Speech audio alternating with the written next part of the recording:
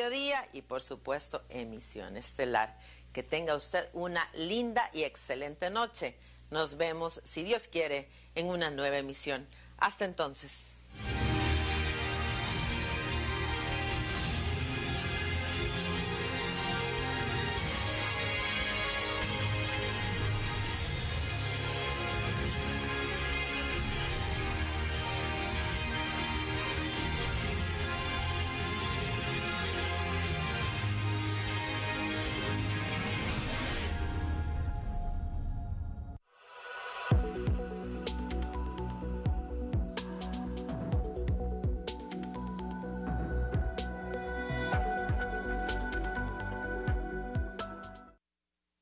El tema de la seguridad alimentaria en nuestro país es muy importante.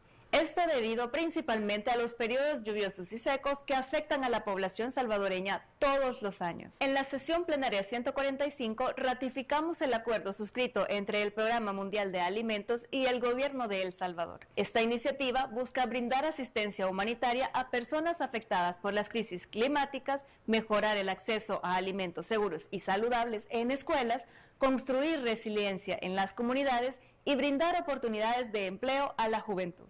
El acuerdo, que cuenta con un presupuesto de 132 millones de dólares, busca contribuir a las prioridades del país, como el Plan Maestro de Rescate Agropecuario, el Plan de Despegue Económico, la Política Nacional de Seguridad Alimentaria y Nutricional y el Plan de Desarrollo Social, entre otros. Este plan estratégico de cinco años está alineado con las prioridades nacionales y los objetivos para el desarrollo sostenible. Con esto buscamos dar un mejor futuro a nuestras generaciones, principalmente en un ambiente de paz.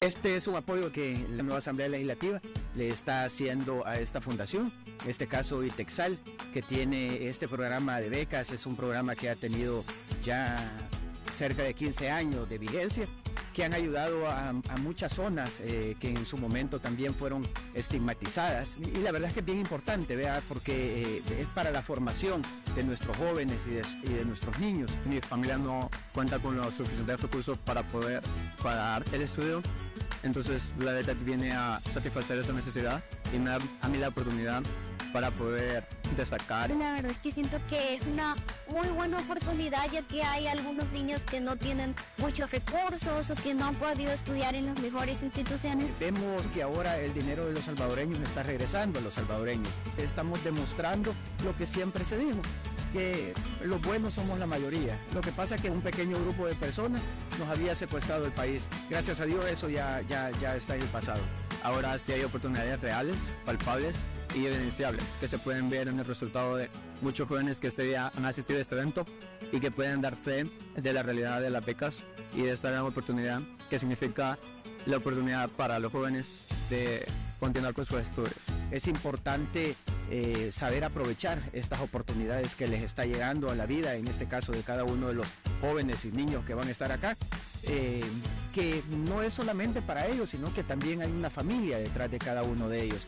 Doy muchas gracias a la Asamblea Legislativa y al MINED por estar brindándonos a todas estas oportunidades tan increíbles y es de mucho aporte para la sociedad. Me gustaría agradecer a MINED, Texal, los diputados por creer en mí y en general en la juventud de El Salvador, de saber que en El Salvador hay muchos jóvenes con el potencial y que si se les brinda las correctas oportunidades, tienen el potencial en un futuro de cambiar el país.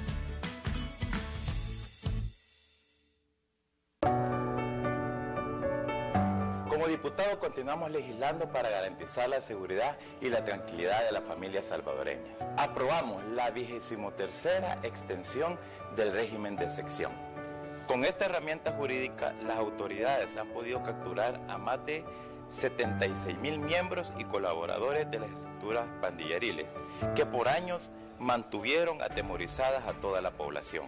Esta medida, vigente desde el 27 de marzo del 2022, ha sido fundamental para continuar extrayendo a los últimos pandilleros que aún se encuentran escondidos en algunas comunidades.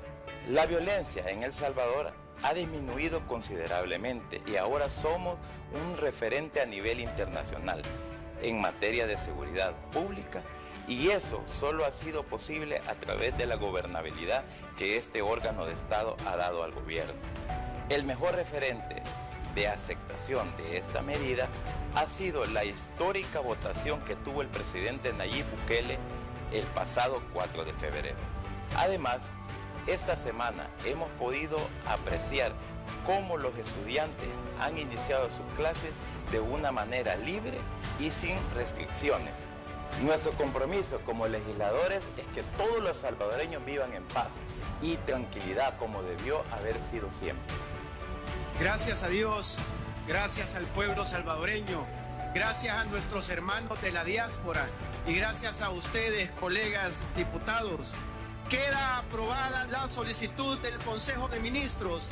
En el sentido se prolonga el régimen de excepción en todo el territorio nacional por el término de 30 días a partir del 11 de febrero del presente año.